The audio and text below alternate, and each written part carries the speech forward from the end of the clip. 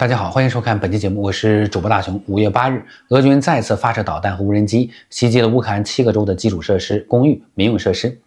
遭袭击的这七个州啊，分别是基辅州、波尔塔瓦州、基洛沃拉德州、扎波罗热州、利沃夫州、伊万诺弗兰科夫斯克州和文尼察州，至少造成了三人受伤，十三栋居民住宅被炸毁。截至目前，没有人员死亡报告。目前。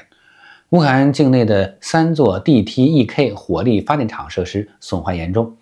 乌总统泽连斯基发表紧急讲话说，要用行动阻止俄罗斯继续蔓延到整个欧洲大陆，乃至全世界啊，让一切恶行再也不会继续。遭袭击后啊，乌克兰部分州可能会出现轮流停电啊，其中啊，基辅已经恢复供电了。乌克兰空军提供的数据显示。今天，俄乌共发射五十五枚导弹和二十一架无人机，共七十六个攻击单元。乌军整体拦截率仅为百分之七十七，具体拦截情况为一枚 KG 四七 M 二匕首弹道导弹，三枚伊斯坎德尔 MK 弹道导弹，四枚口径巡航导弹，四十五枚 KG 幺零幺 KG 五五巡航导弹，两枚 KG 五九 KG 六九制导导弹，二十一架沙希德幺三幺幺三六无人机。在正面战场进攻和对乌克兰境内狂轰滥炸的同时啊，大俄还派出很多特工渗透到乌克兰以及西方有关国家，对乌克兰境内外目标啊进行破坏或对乌方重要人员进行刺杀行动。乌克兰安全局在五月七日发声明说，该局破获了一个试图暗杀乌克兰总统泽连斯基啊，乌克兰安全局局长马柳克，乌克兰军情总局局长。布达诺夫以及其他乌克兰政府高级官员的俄罗斯间谍网络，新破获的间谍网络是由俄罗斯联邦安全局下属的第五局操控。该局专门负责针对乌克兰的啊颠覆、情报收集以及暗杀等活动，策应莫斯科对乌克兰的入侵行动。乌克兰安全局称，已逮捕了两名潜伏在乌克兰国家保卫局的上校。他们试图在俄罗斯总统普京的新任期就职典礼前制造暗杀事件作为献礼。被捕的这两人呢，将以涉嫌战时叛国罪和策划恐怖活动罪进行审判。啊，这两人呢，此前职位特殊，具体负责保护乌克兰政府高级官员，却被俄罗斯联邦安全局的人使用美元啊进行了收买。他们原计划是在获得包括泽连斯基等人的行踪信息后。报告给他们的俄罗斯上级，啊，在目标确定后，俄军将发射弹道导弹进行斩首行动，同时再由俄罗斯特工使用 FPV 无人机对可能的幸存者呀进行攻击，最后再由俄军发射弹道导弹毁灭所有痕迹。按照计划啊，俄罗斯情报部门会在复活节前暗杀乌克兰军情总局局长波达诺夫，在计划未实施前，两名叛国者。于五月四日被捕，乌克兰安全局发现了他们与俄罗斯情报部门合作的证据，以及从乌克兰国家保卫局偷走的武器。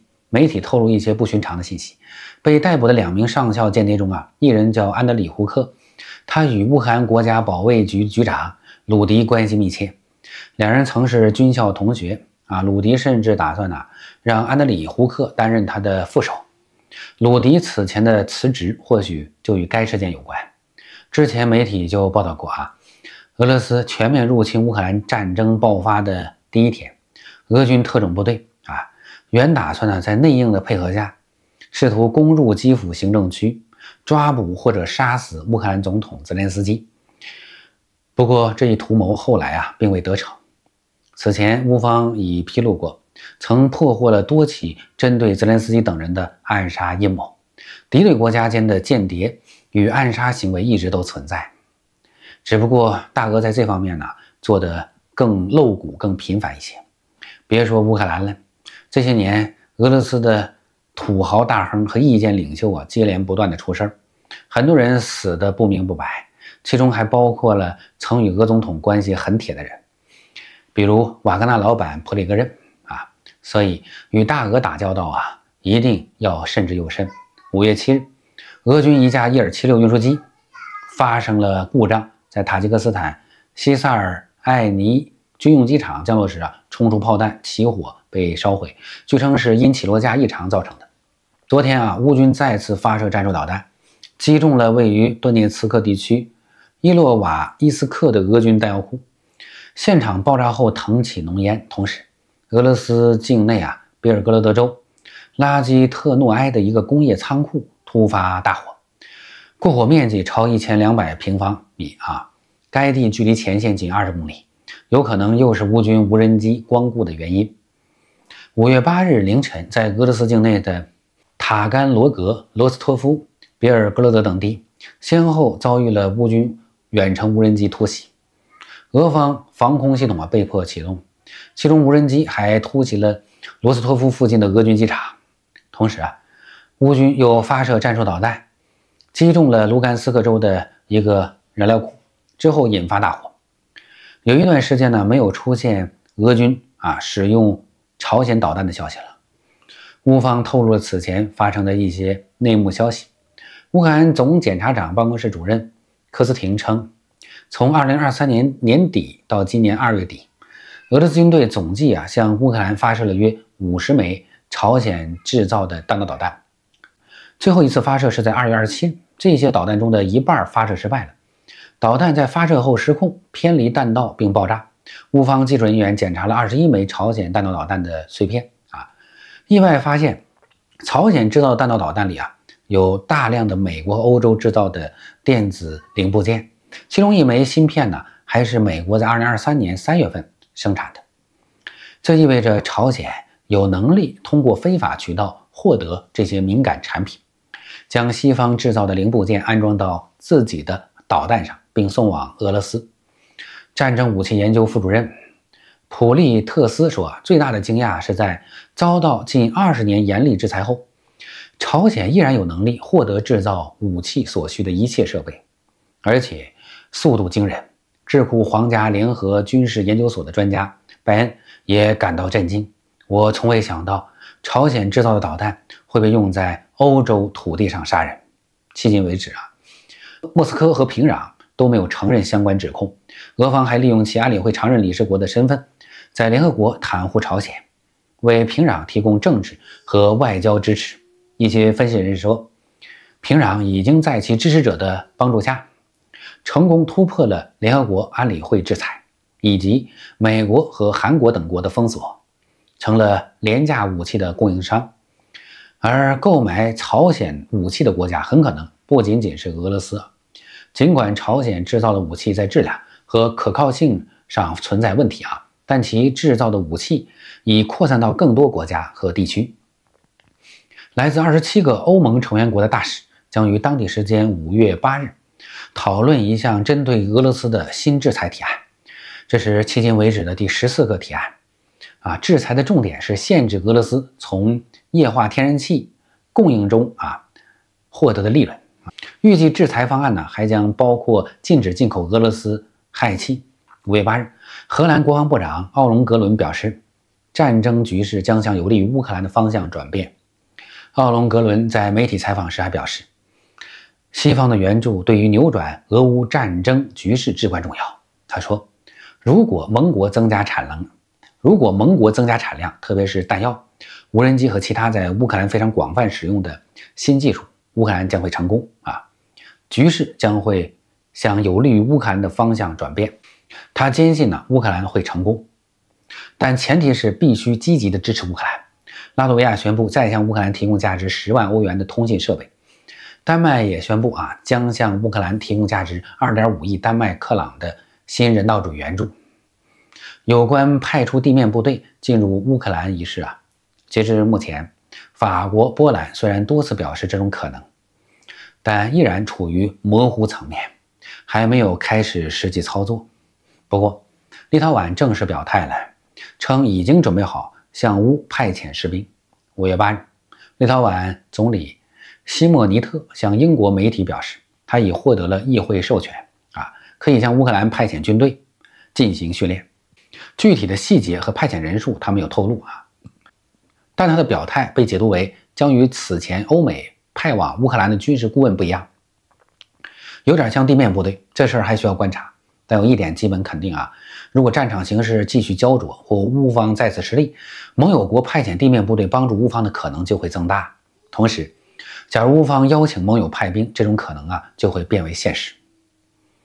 乌克兰总理日前已表示，乌方需要盟友派遣地面部队，不过不是现在，说明乌方已有这方面的打算。五月八日，时隔五个月后。乌克兰再次摧毁俄军一套 2S7 毫米自行火炮啊！截至目前，乌军已经摧毁至少二十七辆 2S7 毫米自行火炮。另外，乌军使用了法国提供的 AASM 炸弹，又空袭了俄军无人机操作员所在建筑物。从图像看啊，该建筑已被摧毁，打击十分精准。战场最新消息：阿夫迪夫卡地区，俄军向北部阿尔汉格尔斯克攻击受挫后。又向奥切雷泰恩铁路线方向推进了两百米，之后遭遇乌军第幺零旅的有力阻击。巴木特前线，俄军继续向恰西夫亚尔南北夹击，不过没有进展。乌军在伊万尼夫斯克开始小范围的反击，并推进五百米。马林卡、新海利夫卡一线，俄军士兵骑着摩托车啊，向乌军阵地发起进攻，被乌军第七十九旅击退。损失多辆摩托车，同时啊，乌军向新海利夫卡发起反击，取得微小进展。扎波罗热前线，双方还在罗伯泰尼拉锯。在乌罗扎因附近，乌军再次展开反击，并夺回了此前失去的阵地。总的来看，乌军已成功阻击住了俄军的疯狂进攻，并开始局部进行反击。战场形势正在有利于乌军一方发生变化。乌方今天发布的最新战报显示啊，过去一天，乌军新歼敌九百七十人，同时摧毁俄军坦克十三辆、装甲车十九辆、火炮三十门、无人机十一架、巡航导弹两枚、军车四十辆、特殊设备两套。从数据看啊，俄军损失较前一日略有下降。截至五月八日，俄军呢共计损失四十七万七千四百三十人。中东局势也在发生巨变。以军昨天开始对拉法发起了地面行动，以军坦克已经进入拉法部分区域，并且占领了拉法口岸，在拉法口岸呢升起了以色列国旗。今天消息啊，以色列国防部长加兰特在当地时间七日发表了简短的声明，他说，在哈马斯被消灭啊，或者在以色列被劫持人质获释之前，以军不会停止在拉法的军事行动。他同时表示。为了促使遭劫持人质获释啊，以色列可能会做出某些妥协。但是如果这一选项被取消，那么以军就会推进行动。现在摆在哈马斯面前的只有两个选择：一是释放人质，二是被消灭，没有第三条路可走啊！今天就聊这里吧。为正义发声啊，实属不易。感谢大家一如既往的支持我的工作啊！节目最后啊，恳请宽裕的朋友能给大雄一些打赏啊！做视频已然不足以糊口了。最近呢，因为俄乌话题日趋敏感，视频被大量的黄标，流量也急剧下滑，所以恳请大家能够多多的支持。国内朋友可以扫频道主页的赞赏二维码进打赏。在此，大雄向大家表示真挚的感谢。我们下期再见。